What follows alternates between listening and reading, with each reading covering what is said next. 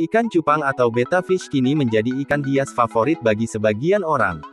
Bentuknya yang kecil serta memiliki sirip berwarna-warni, menjadi daya tarik.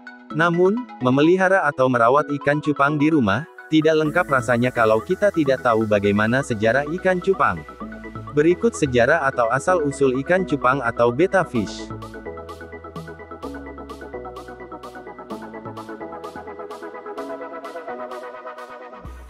Sejarah dan asal-usul ikan cupang Ikan cupang atau juga disebut ikan aduan siam, adalah ikan yang berasal dari Asia Tenggara dan umumnya merupakan hewan peliharaan, seperti dikutip Life Science. Di Thailand misalnya, mereka menyebut ikan cupang plakat yang berarti ikan petarung. Cupang jantan dikenal sebagai petarung yang secara agresif membuka tutup insangnya dan menggigit sirip jantan lain. Di alam liar, perkelahian hanya berlangsung kurang lebih 15 menit, tetapi orang-orang Thailand berasumsi ketika hewan ini dipelihara, mampu bertarung selama berjam-jam. Ikan cupang, Biasanya berukuran kecil dengan panjang 6-8 cm dan bertahan hidup rata-rata selama 2 tahun.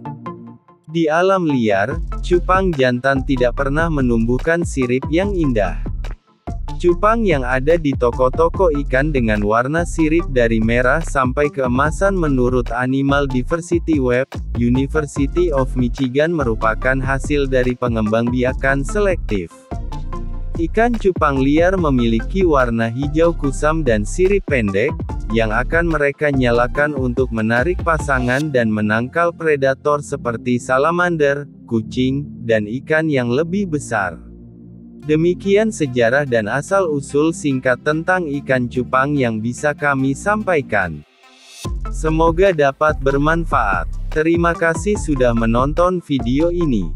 Sampai jumpa lagi di video-video kami selanjutnya.